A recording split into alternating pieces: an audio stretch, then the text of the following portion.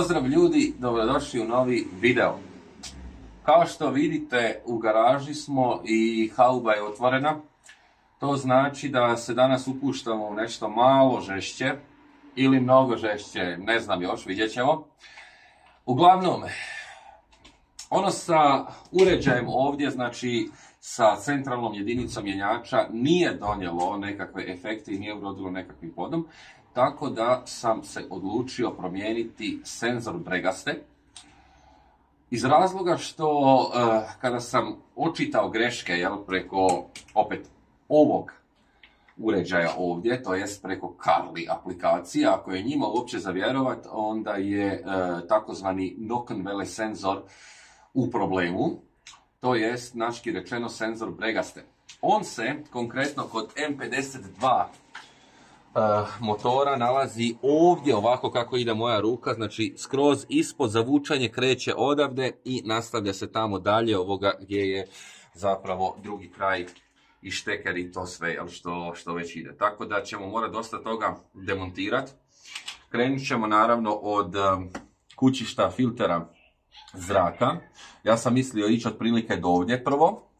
Zatim uh, od ATF-a, znači od serva, posudu također osloboditi, pogurat najviše moguće, jel, meni desno i onda bi dobili nekakav dodatni prostor da zapravo se može bolje vidjeti je uopće nekakav pristup moguć. U najgorem slučaju, ono za što se ja iskreno nadam da neće biti potrebno je da ćemo morati demontirati ovu usisnu granutu da bi se oslobodio kompletan prilaz tom drugom kraju, jel, gdje se treba uštekat taj senzor bregaste. On kao takav nije sada metar dugačak ili nešto, znači radi se o ovolikom kablu, znači ono mega glupost, kako da kažem, i zapravo je sve na plug and play. Zašto se događa ovaj problem i koji su simptomi? Ajmo prvo o tome tako da se možemo kasnije baciti na to šarafanje i da ne duljimo previše.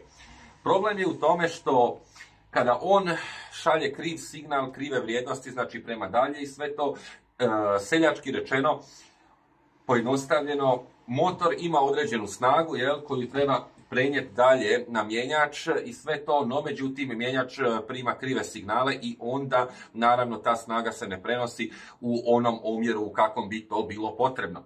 I samim time e, mjenjač ide u takozvani NOT program i zadržava vas konkretno na ovim modelima, znači iz 90. godina kod BMW-a u trećoj brzini, znači u onoj srednjoj brzini, pošto ovdje imamo automatik sa pet brzina, onda u trećoj kao srednjoj i naravno dozvoljavam vožnju u reverse.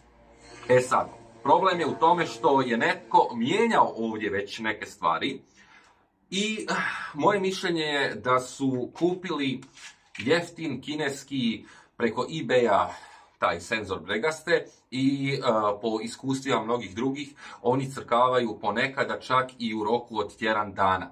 Znači prestaju raditi svoj posao kako treba, šalju krive signale prekasno ili bilo kako i onda dolazi do brojnih drugih problema kada ovaj senzor nije u najboljem redu.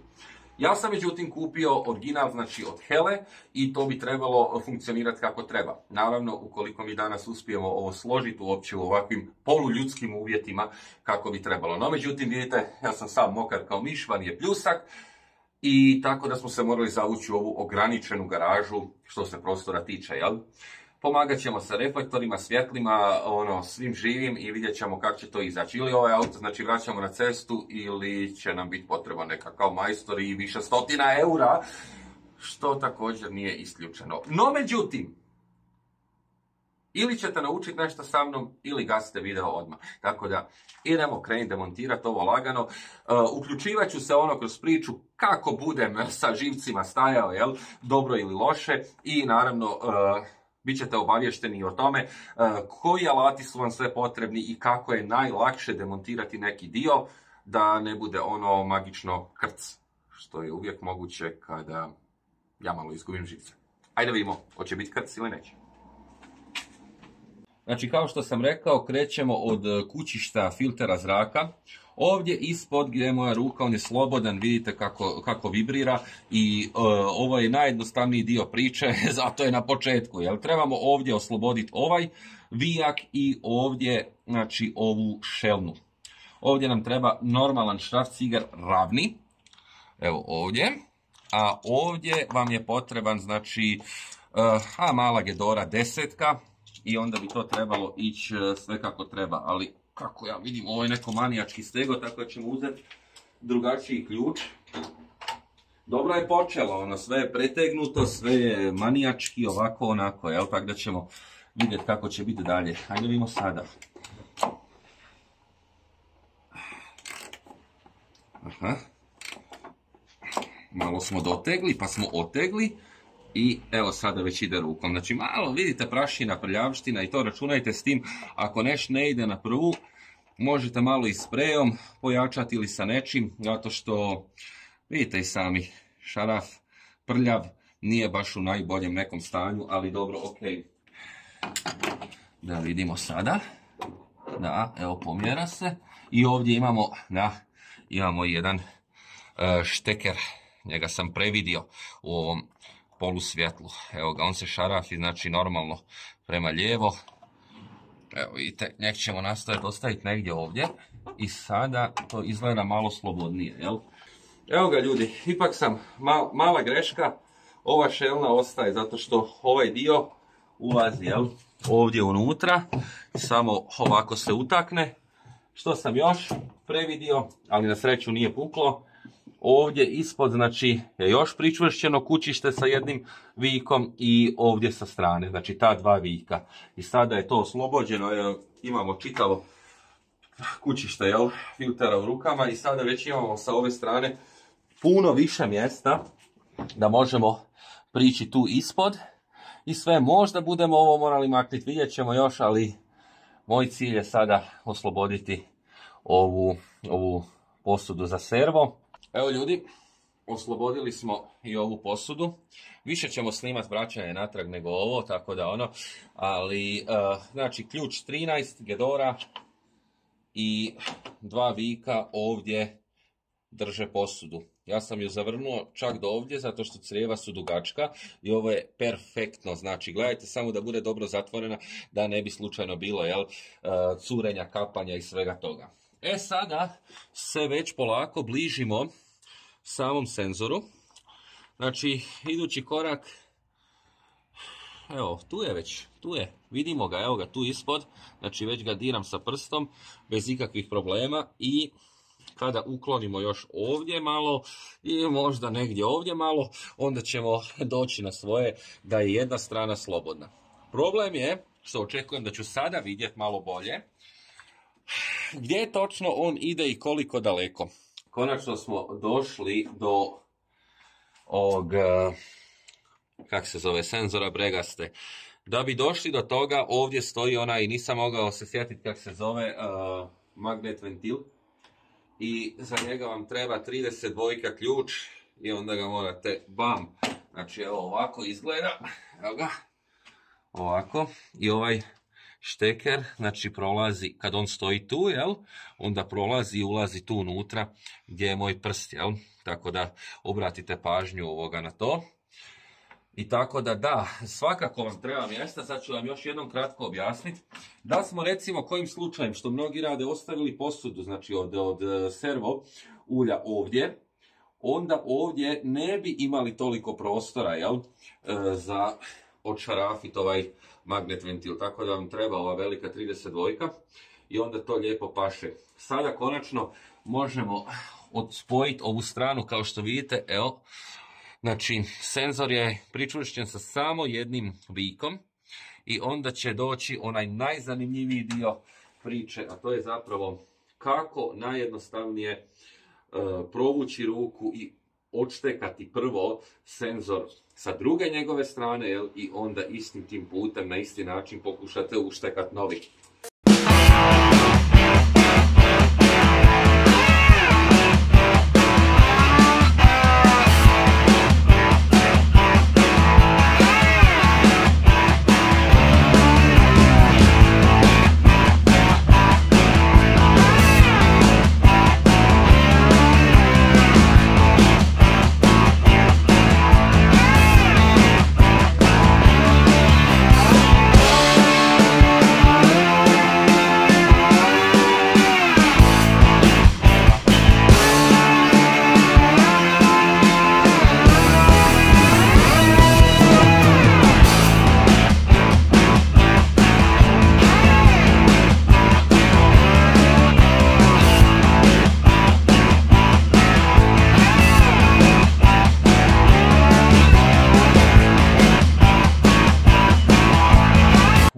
Nekako ištekat, stari i uštekat, nije bilo moguće snimiti, žao mi je stvarno, ali nije bilo moguće snimiti, zato što ono, eh, jedna ruka sa ove strane, druga od gore, svjetlo, sto čuda, ono, postoji osigurač, pokazat ću vam na starom, evo, eh, znači, kako on sjeda unutra, jel? Imate ova dva zuba sa strane. I oni trebaju skoro pa cijeli, ajmo reći cijeli, trebaju ući unutra, znači ovako izgleda, jel? Od, od ispod, ovo je stražnja strana, znači ovako se šteka unutra. E, zapravo, da. Ovako se šteka unutra, no problem je u tome što one stoji ovako ravno, tako da ga ne možete, razbit ću još i glavu, da ga ne možete od gore, znači ovako ravno stisnut, nego ga morate ovako pod nekim kutom nabiti unutra, a tu okolo postoji isto jedan osigurač e, kao i većina, znači evo recimo kao ovaj ovdje. I znači njega morate stisnuti unutra ovako i onda zapravo tek možete do kraja stisnuti, znači jel? E, isti takav osigurač je i dolje. Tako da to je malo gadna stvar, ali ono što je bitno, a to što nema mjesta je gadna stvar i što se meni ne da sve ovo skidati radi jednog senzora. Ono što je bitno, ovaj zeleni dihtung. Znači ovo je stari, jel? Tu je bio najbolje bi bilo ako imate novi dihtung. Ali ovi, ovi govnari, uprkos tome što je Hela u pitanju i sve, nisu poslali novi dihtung, tako da ćemo mi morati ovo nažalost montirati sa starim. Nadamo se da to neće igrati toliko veliku ulogu. Nemam jednostavno trenutno izbor, zato što treba ovo lagano zgotoviti. I sada, evo vidite ovdje ima malo ulja i to, to nema puno veze. Provukli smo ga od ispod i sada bi njega trebalo vratiti na njegovo mjesto. Ali uvijek vam nešto smeta, to je to. Ovo ako dignemo, njega popustimo, ovako malo, malo, malo, malo, evo ga. Evo ga, i sada tu kad uđe šaraf, evo ga, sad je sjeo unutra sa dihtungom skroz. Evo, tako on sjedi na svome mjestu. Znači, to je to. I tu sad stavimo ovaj vinjak, šaraf, kako hoćete, ne znam, sam više. Evo ga, Imbus 5, znači. Treba paziti da ne ispadne. Ali valjda neće. Jer bilo bi jako veselo da smo sada, ajmo reći, već dobar dio posla obavili da mi ispadne ovaj šarafčić. Evo, ušao je unutra. I sad samo strpljivo ga dotezati dalje, znači da bude fiksno.